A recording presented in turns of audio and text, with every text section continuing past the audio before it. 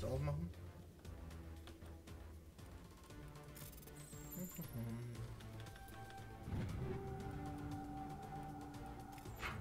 Mal alles nehmen, ne?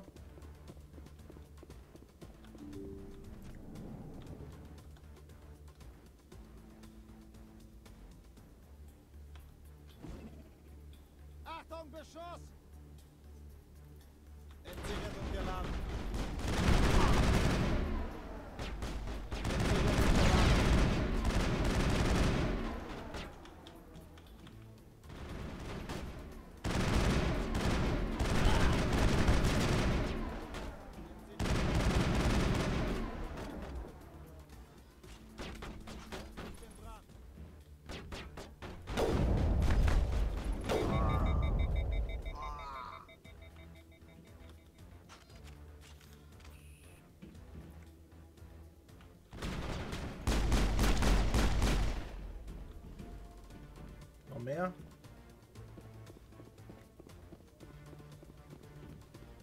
Also das Schild hier von meinem Anzug, das ist richtig scheiße.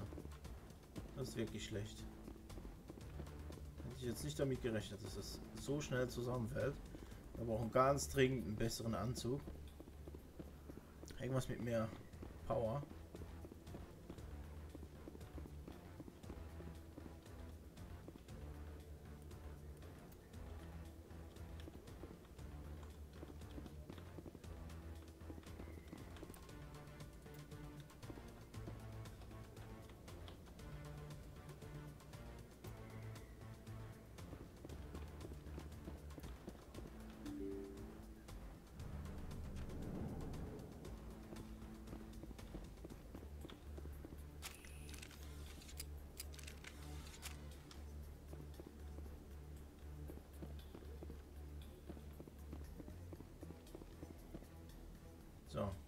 Haben Sie sie dabei? Wo ist der Shadow Broker? Wo ist Fist? Die kommen gleich. Wo sind die Beweise? Keine Chance. Der Deal ist gelaufen.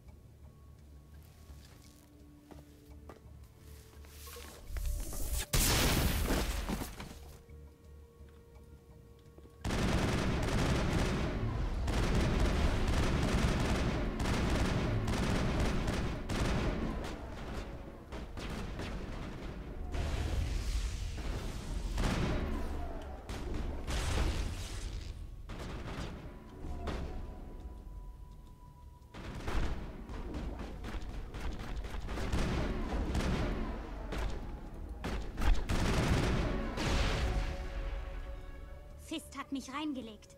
Ich wusste, dass ich ihm nicht trauen kann. Sind Sie verletzt? Ich kann auf mich aufpassen. Aber ich weiß Hilfe zu schätzen. Wer sind Sie? Ich heiße Shepard. Ich suche Beweise dafür, dass Saren ein Verräter ist. Dann kann ich Sie jetzt für meine Rettung belohnen. Aber nicht hier draußen. Wir müssen an einen sicheren Ort. Wir könnten sie zur Botschaft der Menschen bringen. Ihr Botschafter wird sie ohnehin sehen wollen. Genau. Sie machen mir das Leben nicht leichter, Shepard. Kämpfe in den Bezirken, ein Angriff auf Koras Nest. Wissen Sie, wie viele?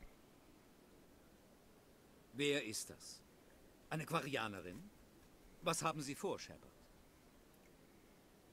Sie wollten Beweise dafür, dass Saren ein Verräter ist. Hier sind sie. Wirklich? Vielleicht fangen Sie lieber von vorn an, Miss. Mein Name ist Tali. Tali Sora Naraya. Wir kriegen hier nur selten Quarianer zu sehen. Warum haben Sie die Flottille verlassen? Ich war auf einer Pilgerreise. Joy. Meinem Übergang in die Welt der Erwachsenen. Davon habe ich ja noch nie gehört. Es ist eine Tradition bei meinem Volk. Wenn wir erwachsen werden, lassen wir die Schiffe unserer Eltern und unseres Volkes zurück. Allein suchen wir nach den Sternen und kehren erst zur Flottille zurück, wenn wir etwas von Wert gefunden haben. So können wir beweisen, dass wir es wert sind, erwachsen zu sein. Sagen Sie uns, was Sie gefunden haben. Bei meinen Reisen habe ich Berichte über die Geth gehört. Seit sie mein Volk ins Exil getrieben haben, sind Geth immer im Nebel geblieben. Ich war neugierig.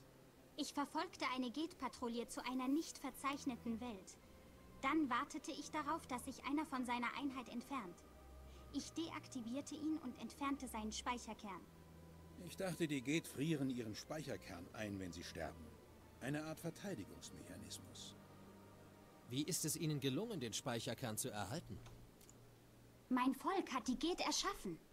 Mit etwas Geschick, Umsicht und Glück kann man manchmal kleine Datenspeicher sichern.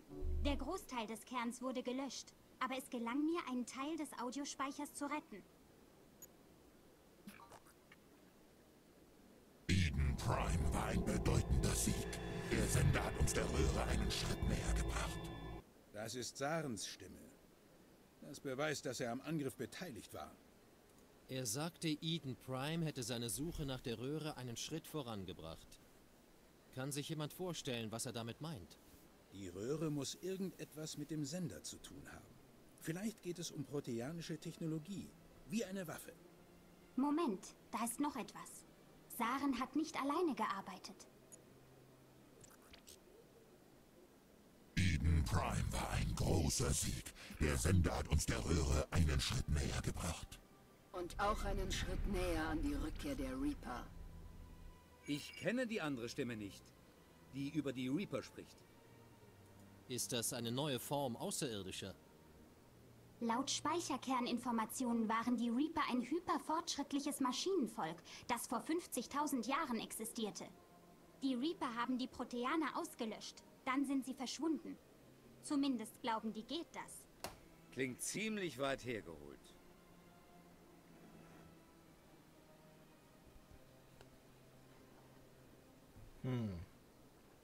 Die Vision auf Eden Prime. Jetzt verstehe ich sie. Ich sah, wie die Proteaner von den Reapern vernichtet wurden. Die Geht verehren die Reaper als Götter, als Gipfel des nicht-organischen Lebens. Und sie glauben, dass Saren weiß, wie man die Reaper zurückholen kann. Oh, das wird dem Rat gefallen. Die Reaper sind eine Gefahr für jede Spezies im Zitadellraum. Wir müssen es ihnen sagen. Was sie auch von dem Rest halten mögen. Diese Audiodateien beweisen, dass Saren ein Verräter ist. Ja, Der Captain hat recht. Wir werden es dem Rat vortragen. müssen wir. Was ist mit ihr? Der Quarianerin? Mein Name ist Tully. Sie haben mich in der Gasse gesehen, Commander. Sie wissen, was ich kann. Lassen Sie mich mitkommen.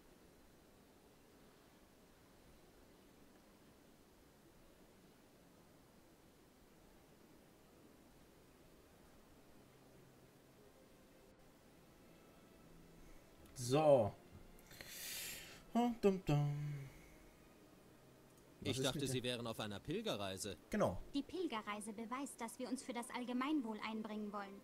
Was sagt es wohl über mich aus, wenn ich diese Sache ignoriere? Saren ist eine Gefahr für die gesamte Galaxie. Meine Pilgerreise kann warten. Mir ist jede Hilfe recht. Vielen Dank.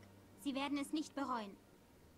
Anderson und ich gehen voraus und bereiten beim Rat alles vor. Sie können sich kurz sammeln, dann treffen wir uns im Turm. So, wir nehmen, wir nehmen ihn und jetzt sie mit, weil das ist immer gut, wenn man da so beim Rad auftaucht, ne? So, an dieser Stelle würde ich mal sagen, oh, sind wir schon ordentlich weit. Ähm, jetzt geht es dann gleich zum Rad. Und äh, da wir jetzt gerade hier einen kleinen Break haben, sage ich natürlich Hallo, lieber Enerjoy. Ähm, da du jetzt gerade zugeschaltet hast, ich werde nicht allzu sehr auf den Chat eingehen. Wir werden heute ein bisschen Mass Effect streamen. Und ich freue mich natürlich extrem drauf, dass wir hier weitermachen können. Wie gesagt, das neue Spiel wird gleich kommen, wird bald kommen. Andromeda kommt. Wir haben noch viel zu erledigen.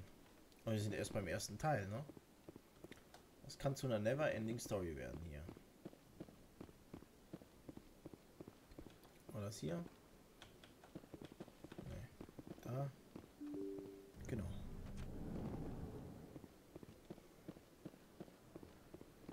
Entschuldigung, Commander Shepard. Commander Shepard, mein Name ist Samish Bhatia.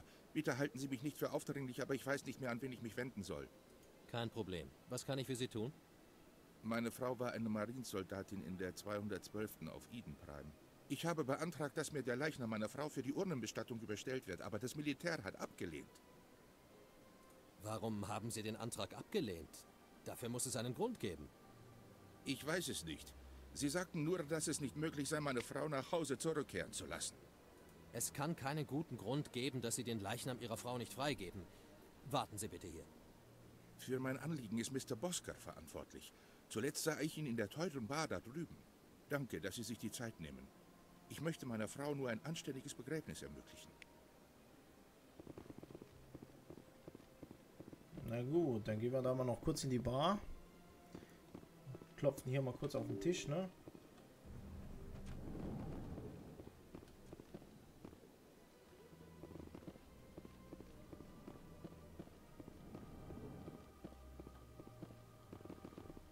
Ich kann diese Gerüchte nicht glauben. Die Konsortin würde niemand... Was wollen Sie? Oh, Commander. Kann ich irgendetwas für Sie tun? Was können Sie mir über die Asari-Konsortin sagen? Ich, äh, sie ist eine Asari, die hier als... Nun, sie hilft Leuten mit Dingen. Sie sind nie zu ihr gegangen, was? Ich? Äh, nein, ich nicht. Ich konnte es mir nicht leisten. Es kostet ein halbes Jahresgehalt, nur mit ihr zu reden. Können Sie mir wenigstens sagen, wo ich sie finde? Äh, sicher. Jenseits der Brücke zu den Botschaften. Alles klar, da gehen wir auch noch kurz vorbei. Und dann haben wir den hier. Sehr erfreut, Sie zu sehen, Commander Shepard. Ihre Aktivitäten haben für einiges Aufsehen im diplomatischen Korps gesorgt. Kann ich etwas für Sie tun? Ja, ein Mann namens Samesh Bhatia hat Probleme damit, den Leichnam seiner Frau zu bekommen. Ah, Mr. Bhatia. Ein guter Mann in einer frustrierenden Lage. Ich wünschte, ich könnte ihm helfen. Nirali Bhatia starb auf Eden Prime, wie Ihnen Mr. Bhatia sicher erzählt haben wird. Ihre Wunden können keiner uns bekannten Waffengattung zugeordnet werden. Deswegen verwahren wir ihre Leiche. Sie glauben, dass Ihr Leichnam kontaminiert oder auf andere Weise gefährlich sein könnte? Nein, Commander. Von Nirali Bhatia geht keine Gefahr aus. Ihr Körper ist vielmehr sehr wertvoll für die Allianz. Diese Teststudien könnten die Grundlage für bessere Verteidigungssysteme gegen die Geth bilden. Anders gesagt, Nirali Bhatia könnte nach ihrem Tod mehr Leben retten als zu Lebzeiten.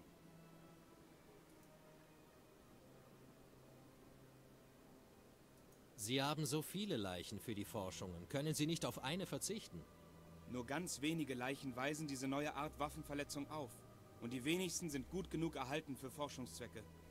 Außerdem benötigen wir so viele Leichen wie möglich, um zu vernünftigen statistischen Werten zu kommen, Commander.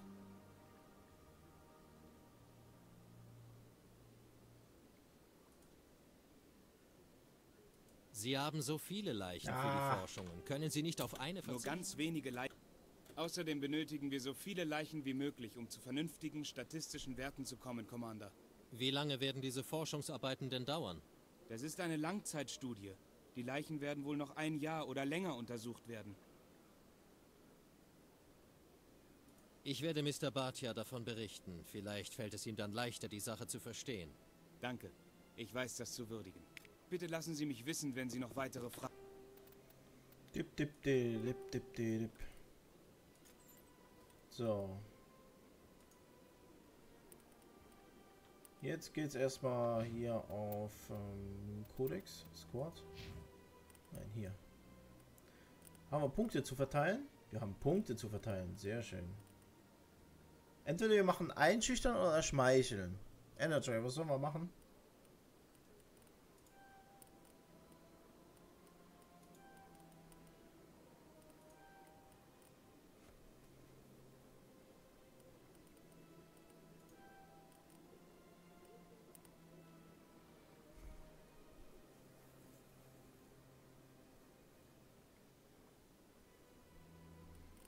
Guter Junge, böser Junge. Wir haben die Auswahl. Guter Junge, böser Junge. Du hast die Wahl der Qual, mein Freund.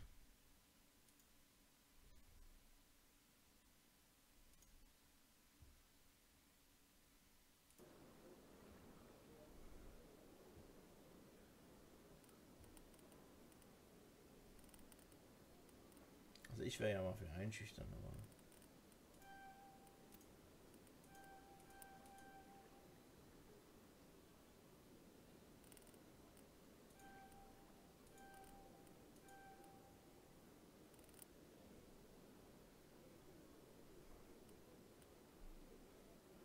Machen wir einschüchtern? Wir machen einschüchtern. So.